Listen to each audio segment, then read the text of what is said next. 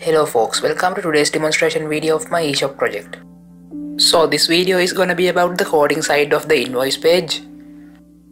As you can see this is the view of our invoice page UI. I already explained about the user interface in depth so this video is only gonna be about the programming side of this page.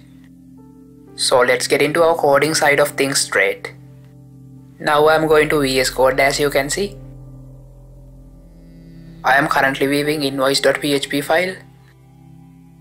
So to keep this page running in the state it should be I am linking some other files inside of it. First inside these head tags I am linking bootstrap.css file. Then bootstrap icons.css file. Then finally our own style.css file.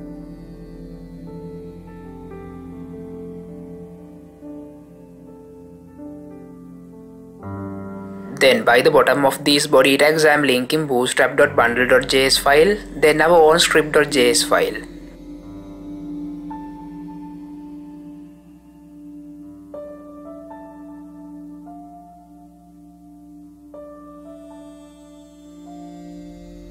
Then inside of this PHP script I am requiring connection.php file to establish the connection with our database.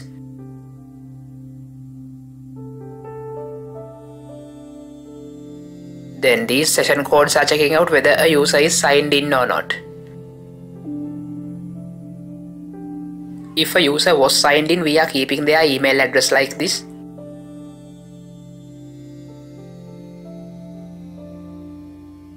Then from here we are keeping the order ID like this. We are getting it used in the get method as you can see.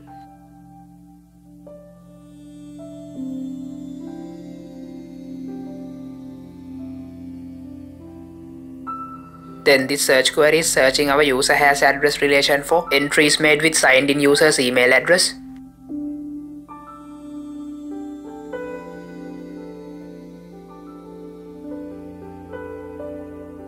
Then from here we are setting customer's first name then the last name to the correct places.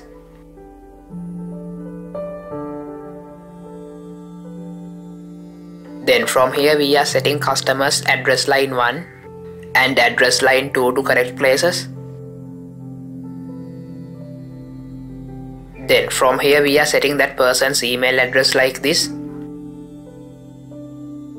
Then this search query is selecting all from invoice relation where the order ID match with our received order ID.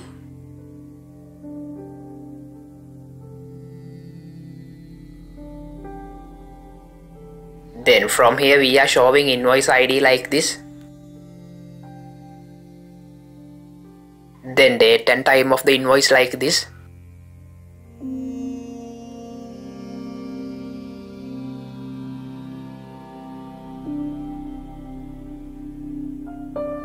Then these codes are showing the invoice ID of the purchase.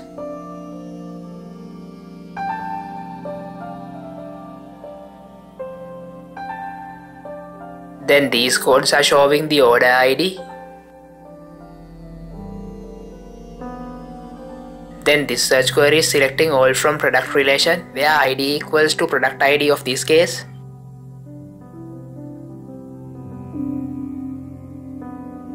Then this search query is selecting all from city relation where ID equals to city ID of this case. Then from here we are creating a global variable like this and assigning a zero value to it. If that customer's district ID is 2, we are setting the delivery fee inside the Colombo for that product.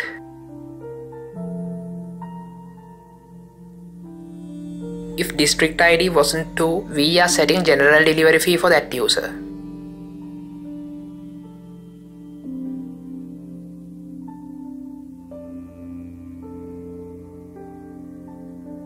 Then these codes are showing the title of the product.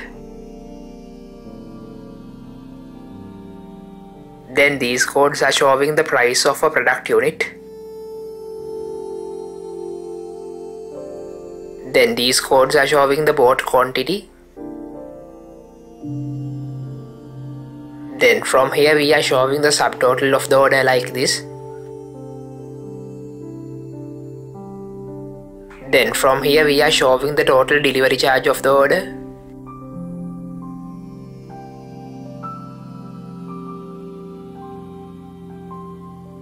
Then from here we are showing the grand total of the order. So folks, that's all I have to explain in this video. Stay tuned for the next one. See ya.